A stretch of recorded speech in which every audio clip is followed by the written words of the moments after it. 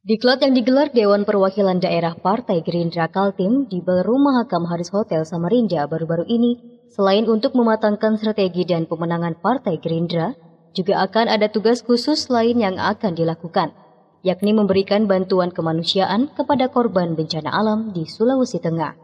Hal tersebut disampaikan Ketua Dewan Perwakilan Daerah Kaltim Andi Harun. Dikatakannya, sebagai sesama warga Indonesia wajib bagi seluruh rakyat Indonesia termasuk Partai Gerindra Kaltim jika membantu warga lain yang memang membutuhkan bantuan. Tugas ini dikatakan Andi merupakan aksi spontan pihaknya dalam mempererat tali silaturahim serta solidaritas kemanusiaan. Andi menegaskan kepada seluruh kader Partai Gerindra se-Kalimantan Timur untuk ikut serta memberikan bantuan dana. Namun demikian, Andi menegaskan jika kegiatan tersebut tidak ada sama sekali kaitannya dengan kegiatan politik melainkan murni untuk beribadah dan wujud kepedulian sesama manusia. Ini sama sekali tidak ada kaitan dengan politik.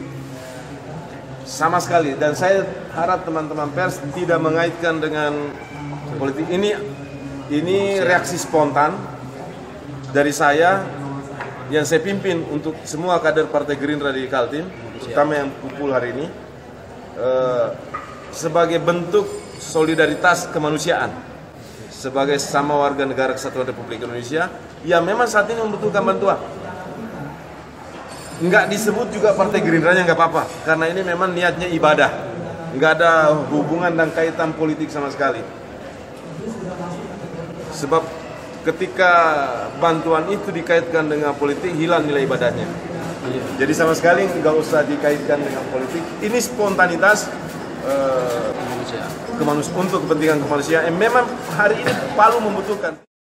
Melalui penggalangan dana secara spontanitas tersebut, berhasil dikumpulkan dana kemanusiaan dari seluruh caleg Partai Gerindra Kalimantan Timur sebesar 65 juta 500 ribu rupiah.